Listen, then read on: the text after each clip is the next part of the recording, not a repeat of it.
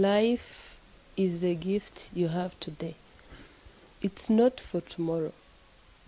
So be a reason for someone smile today. Be a reason for someone believes in the goodness of people today. Be a reason someone feel loved today. Strong people stand up themselves, but the stronger stand up for the others.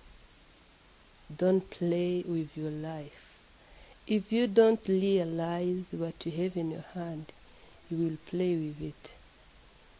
The only one who can stop you from becoming the person God intended you to be, it's nobody else apart from yourself. It's not about your parents, not about your guardian. It's all about you.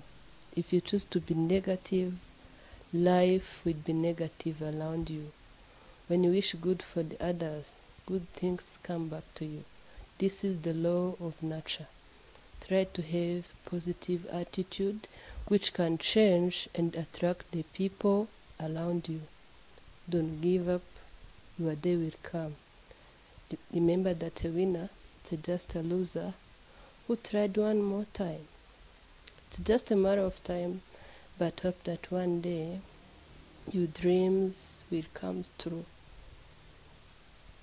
Every pain gives a lesson, and every lesson teaches a person. Never stop learning because life never stops teaching. The hardship you are going through is for God to prepare your heart for who you are going to become. Don't give up. The beginning is always the hardest. Always remember that your present situation is not your final destination. The best is yet to come. If you want to be strong, learn how to fight alone. Never tell anyone your plan. Show them your result instead. Stop expecting the loyalty from the people who can't give you honesty. Be proud of who you are. Life is short, no replay, no rewind, so enjoy every moment as it comes. Thank you.